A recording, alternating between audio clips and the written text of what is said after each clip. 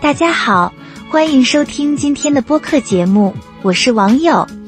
在二零二四年的开始和农历新年的前夕，让我们一起聊一聊关于贺年卡的一些小故事，希望大家能够喜欢。贺年卡是一种在特定节日或新年时用于表示祝福和问候的卡片。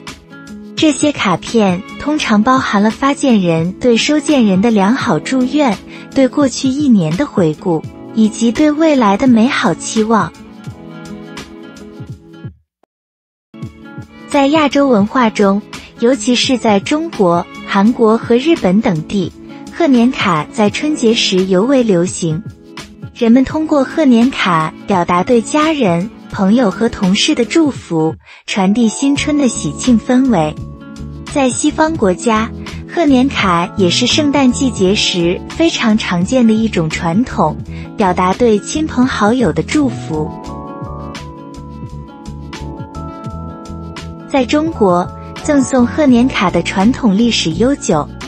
早在宋代时，人们过年会向上司或长辈登门拜年，到访不遇时会留下一种卡片，上有贺年祝福语句，以表亲自上门拜年之意。到明代，人们多改用有梅花图案的信纸制作贺年卡，称为拜年帖。贺年卡的形式也随着时代的发展而逐渐改变。以前，贺年卡是个人亲手制作的，到近代才出现机器大量印制的贺年卡。随着互联网的发展，电子贺卡得到了更广泛的使用。电子贺卡是一种通过电子方式发送的贺年或祝福卡片。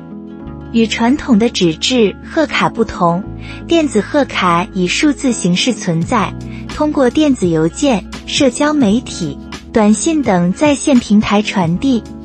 它通常包括文字、图像、音频或视频等多种元素，以传达发件人的祝福和问候。电子贺卡的优势在于便捷、环保。并且可以通过多种创意手段表达祝愿，使其成为现代社交互动中常见的一种形式。好了，这就是本期关于贺年卡的内容，希望大家能够喜欢。在此，网友以本期播客作为一张电子贺卡，送给正在收听的你。新年来临之际。网友感谢你一直的陪伴和支持，愿你在新的一年里事业蒸蒸日上，身体安康，家庭温馨幸福。感谢您的收听，我们下次再见。